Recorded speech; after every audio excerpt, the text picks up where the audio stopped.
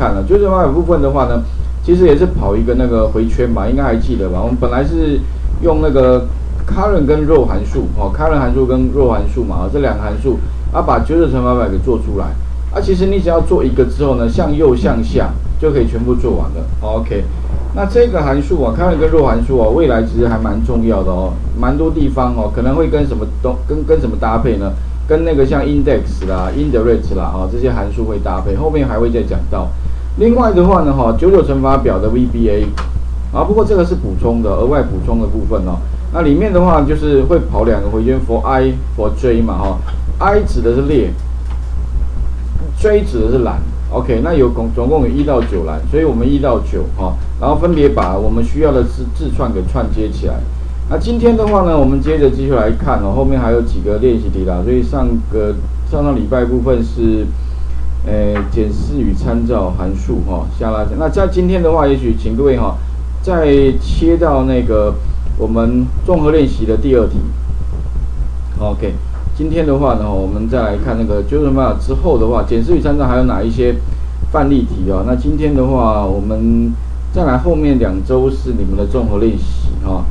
所以，也许今天我们会把那个检视参照函数啊，先告个段落了。不过，检视与参照后面还有蛮多的那个练习题哈。那有有时间的话，各位可以稍微自己再练习过哈。那今天的话，接着来看那个综合练习的第二题部分。好，啊，首先呢，请各位哈，呃，一样切到那个检视与参照练习的最。最右边的那个综合练习的第二，那题目在这里啦。不过你会发现，这个是里面需要做的事情啊。那我们我们的题目不在这里啊。题目的话，请各位在再到范例档里面呢哈，开启这个，在那个综合练习题的上面哈，会有一个这个的上面有一个叫什么综合练习题的那个股票配股税率统计表啊，请各位把这一题打开。好，那。这个是练习档啊，那题目档的话呢，其实就是在那个我们原来的这个检视与参照函数的里面哈，所以这两个是分开的哈，所以请各位额外再开启这个呃这个练习题。啊，题目档在这里啊，或者你可以怎么样把这个这个是一个图档啊，你或者你可以把这个图档怎么样把它复制贴到那个那个那个练习题里面这边也可以了，也许你可以把它贴到这个综合练习的这个下面也可以哈。那首先的话，我们需要做哪些事情呢？我们大家来看一下，我大家快，大家稍微讲一下。第一个哈，这一题呢，这个股票的配股税率统计表哈，那这一题呢，基本上呢，主要第一个就是要定义名称，也就是说呢，我今天呢，里面有很多公式，它要我们做出什么呢？里面比如说要算出，呃，像底下这边练习题里面有那个分配到的股数。哦，要分配多少股数的话，其实是从配股数量表可以查询得到。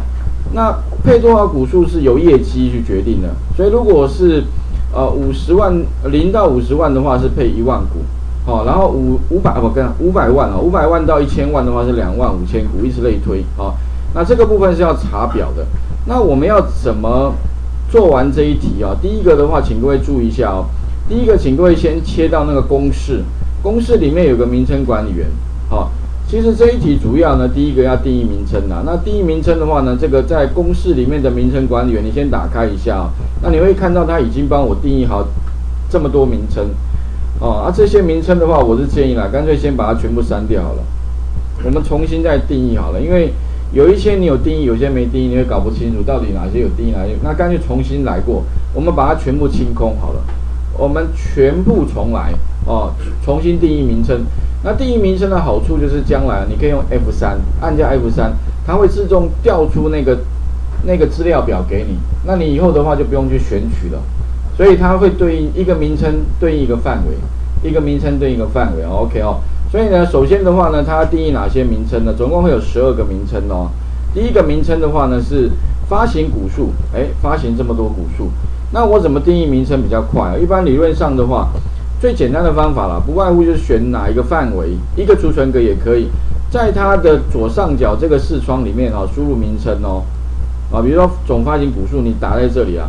不过如果你不想打字的话，因为你要打字嘛，你可以复复制前面贴过去，或者另外还有一个更简单的方法，就是怎么样，游标放 C one，找到公式里面的定义名称，按下定义名称之后的话，你会发现哦，按定义名称的好处是什么？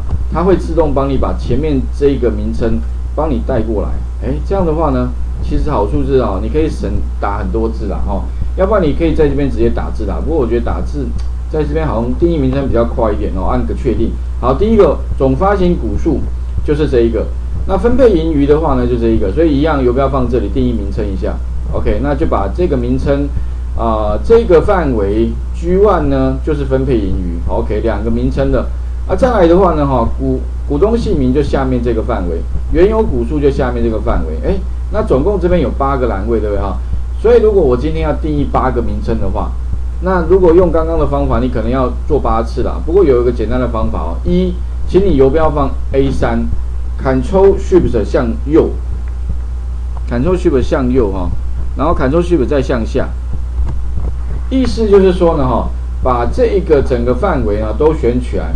那选起来之后的话呢，如果我要定义名称呢，它可以在公式里面有一个从选取范围建立。这边有一个选项叫，哎，你要建立的名称，名称在哪里？哎，在顶端列，有没有？上面顶端列是名称，下面就是它的范围，所以特别注意哦，请各位呢，最快的方法哈，可以从公式里面从选取范围建立，啊，记得顶端列打勾就好，最左栏不要打勾。那这个好处就是说呢，它可以一次帮我产生八个名称，也就是它的名称上面呢就是名称来源，下面就是它的范围。这样最快了，OK。所以以后的话，如果你要定义多栏的话，其实用这个方法最快，哦，八栏、十栏、二十栏都可以了，哈。好，按个确定之后的话呢，那当然你可以再看一下名称管理员。目前的话，应该就会产生有两个加八个，十个名称的。那业啊，那个什么，第一个是股东姓名，你可以看到股东姓名，它对应到的范围就在下面这个。那你游标如果放在下面的话呢，它会自动帮我有一个虚线哈，啊，你可以找到，哎，这个范围没错，而其他都一样，以此类推。所以呢，我们定义好总共有十个名称之后，另外呢，将来要查表，所以有个配股数量表。那配股数量表呢，哈，其实就是指的是 A 二哈到 C 七这个范围，不包含哪个名称哦。那这个范围叫。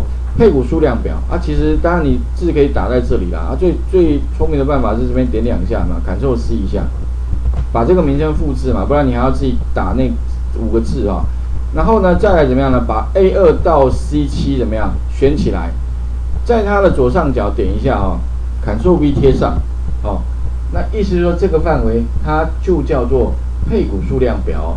啊，不过特别注意哦，你贴上之后记得要按 Enter 哦，因为之前有同学贴上之后就离开了，那就没有建立啦，等于是只有贴上而已。Enter，哎，配股数量表就出来了。那怎么知道有没有建立成功啊？要不就是从那个名称管理员里面看到配股数量表，哎，这边有配股数量表啊，他点下面这边，哎，这个有了，哦，他帮我框起来。或者另外一个方法就是你把这个范围框起来哈，啊，你可以看一下它的什么呢？它的那个左上角的那个视窗。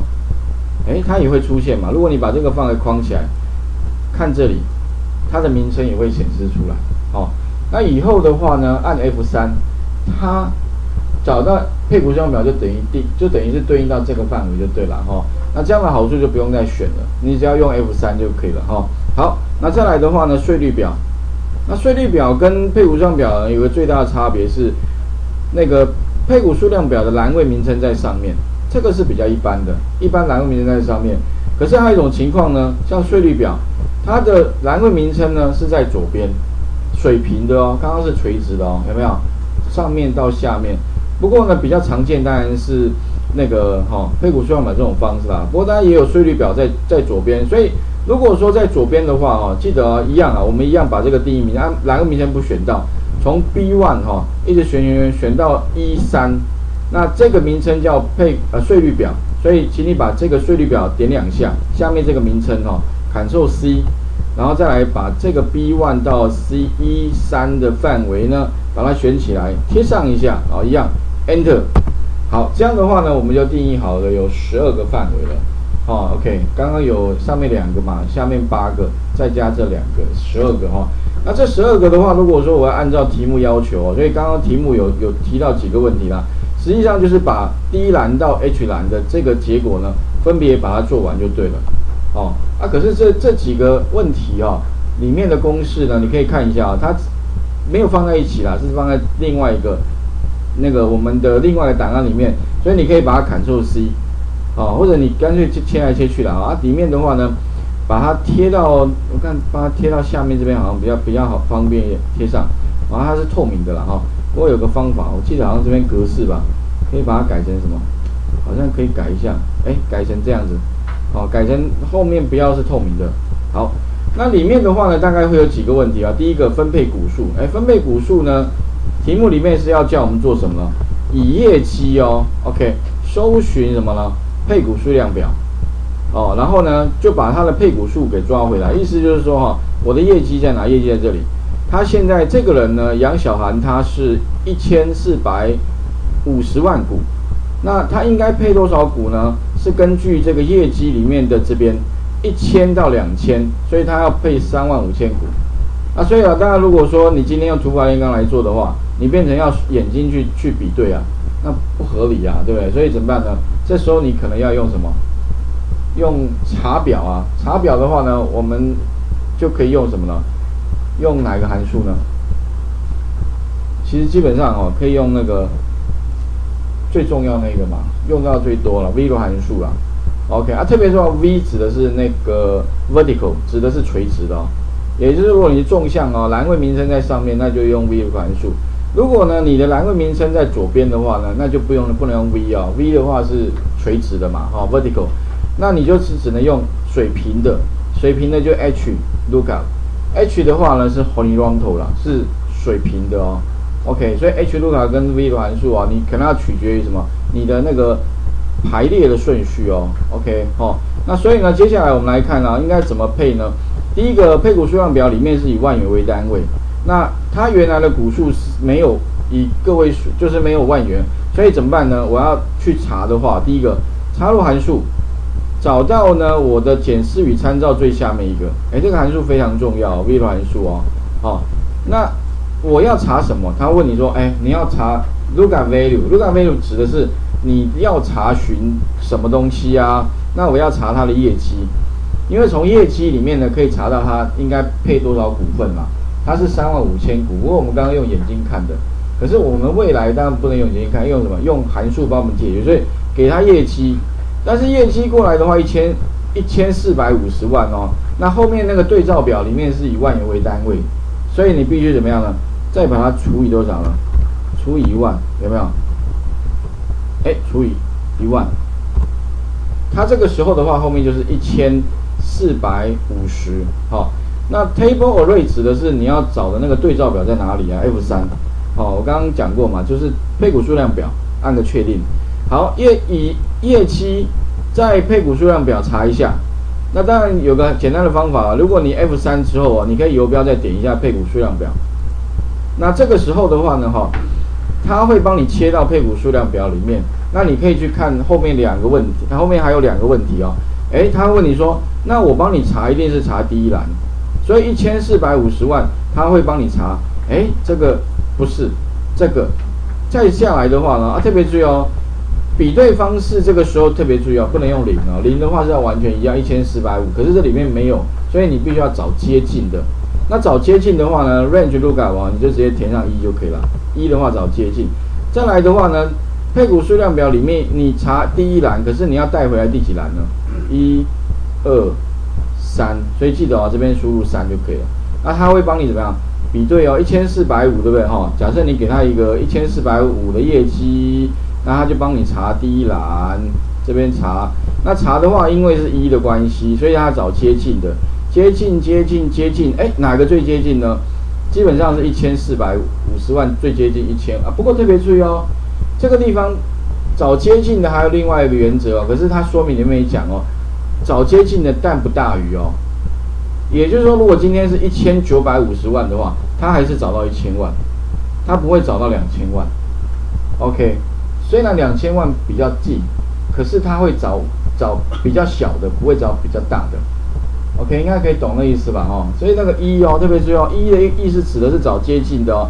但不大于哦，所以即便这个数字是一千九百五十万好了，感觉上一千九百五十万跟哪个最近呢？跟两千万最近，但是他还是找到一千万哦，就是找最接近的，但是不大于哦。OK，如果大于它的话，两千万大于它，他还是不会找到，他还是找一千万的哦。